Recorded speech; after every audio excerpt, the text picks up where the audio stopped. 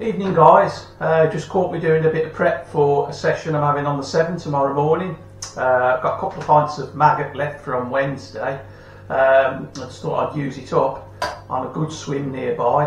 Um, I intend fishing long whips, 7 and 8 metres, which has been a successful method on this river now for a while, targeting silvers. Um, I'd just like to run through some of the rigs that I use, so without further ado, let's have a look at the kit. Right, we've got an array of kit here. I've already set a couple of rigs up. Uh, I've set up a couple of one gram rigs and a couple of um, point fours. Now the one gram, well both rigs, they're set up with strong outshots, strong outshotting patterns. The reason being, um, the Severn, although it's a big river, it's quite shallow and quite often you're loose feeding uh, maggot, caster, emp and the fish will respond more to um, a stick float style presentation and I'm able to do that um, with strong out whip floats. Now the float itself is a Sensas Alberto. Now, I've been using these a couple of seasons um, and what I'm sold on is the fact that they don't tangle which is really important if you're using 7 and 8 metres of whip the last thing you want is a float that keeps folding over you have to keep adjusting it um, no such problem with these. So um, yeah, very good. I put them onto um, the lighter ones onto Powerline. So 13. Uh, that handle shot really well.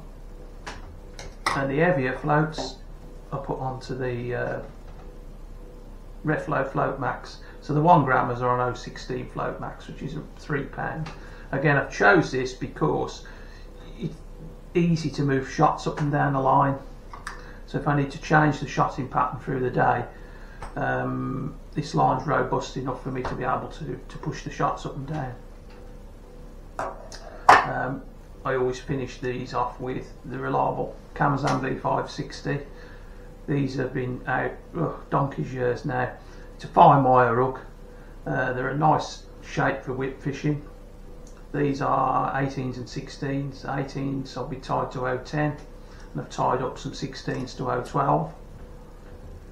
Moving on to the whip itself. Now I like to use an elasticated whip. Even though I might be targeting small fish, you never know if there's going to be uh, an odd bonus come along. There's always perch around. Um, there's some big chub. You could get chub up to four pound, maybe even a barbel. So having an elasticated whip always gives me a chance of landing those bonus fish. Now what I do is I just put an elastic through the second section. In this case it's a 6 to 8 Browning hollow. and I'll set it pingy. And the reason it's pingy is I need to be able to set the barb. So if you've got 8 metres of line on and you lift the pole, I want that barb set but a good thing with having a shorter length of elastic, even a lighter hollow like this, is there's not too much of it that's going to pull out of the pole under the weight of the fish and have the, the elastic dragging down too far when you want to uh, swing fish to hand.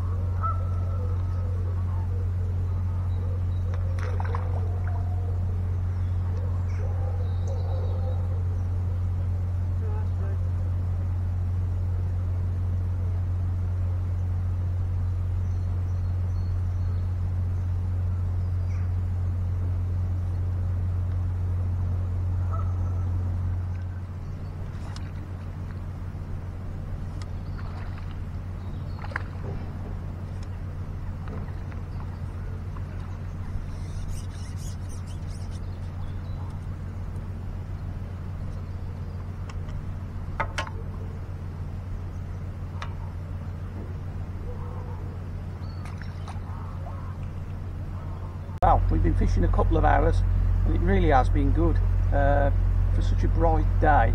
Um, we're catching some nice big dace, a few big perch as well. Um, the most successful method so far has been the full depth one gram rig. Um, as the day goes on, I expect to catch a few on the shallow rig. But um, yeah, it's been quite good.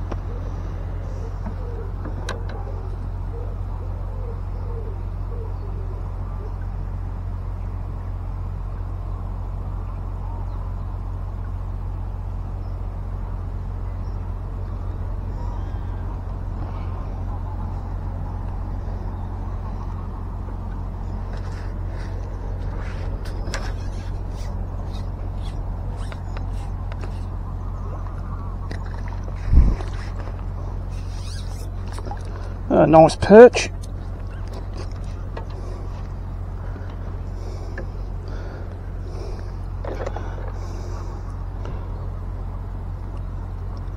To be fishing an 18 B560, so they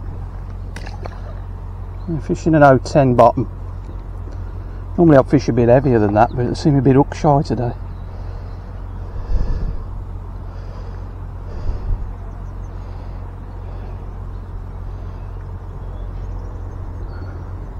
Double maggot.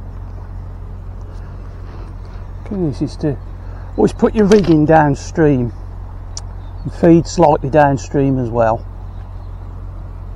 Just imagine you're fishing a stick float but with a whip.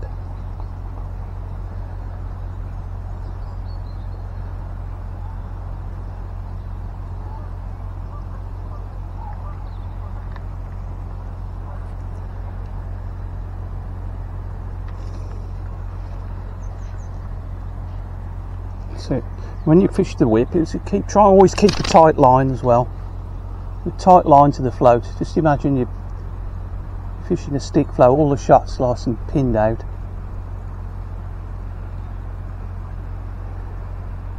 That's really nice. Lots of bites now. Small dace.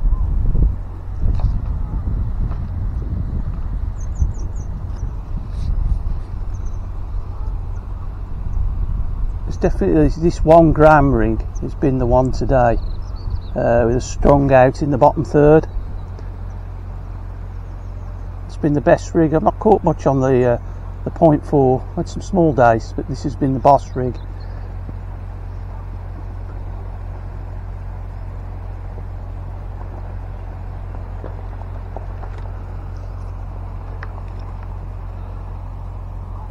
Small dace.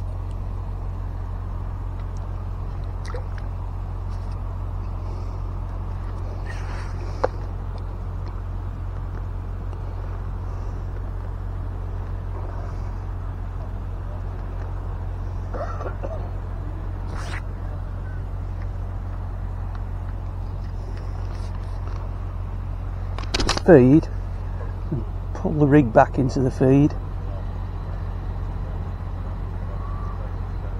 Just let that run through. Just like that.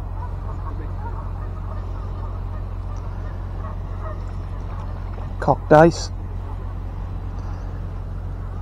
Got a few of these bigger dace today. They're worth catching.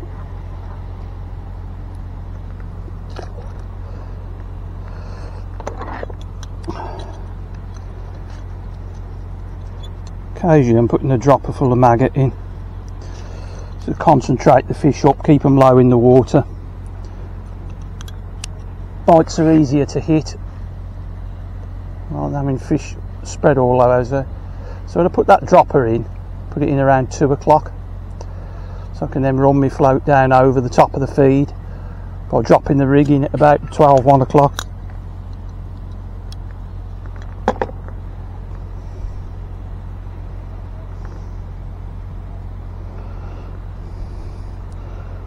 double maggot's been best today I've caught a few fish on singles but seem to want double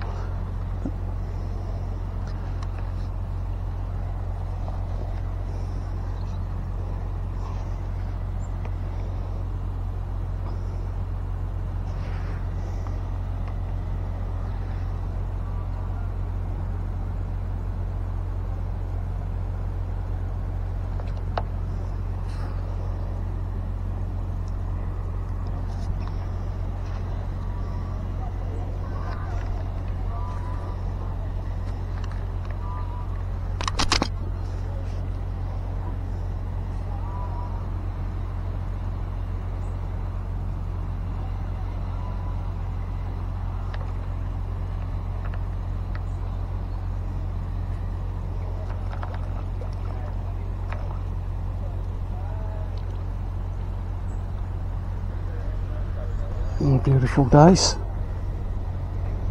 It's the end of a nice morning on the river. Fishing just a seven metre whip with a couple of pints of maggots.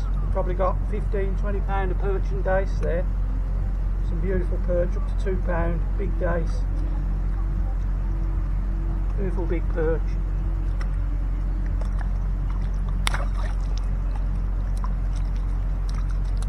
A great day's fishing.